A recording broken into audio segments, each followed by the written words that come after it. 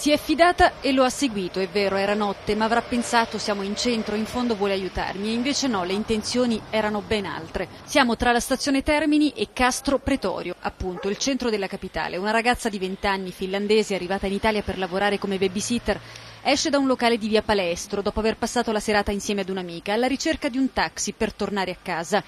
È qui che la desca un 22enne bengalese in Italia dal 2014 con un permesso umanitario che da qualche giorno lavora come lavapiatti in un ristorante. È tardi, le offre di darle un passaggio in auto. In fondo avevano scambiato qualche parola all'interno del locale poco prima, perché pensare male? E invece lui non ha nemmeno l'auto e aveva già altro in mente.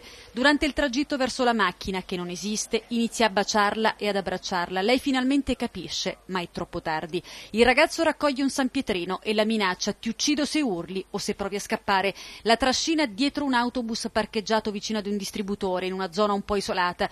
La schiaffeggia e poi la violenta. La ragazza urla, una coppia di anziani la sente, si affaccia alle finestre ma il ragazzo non desiste.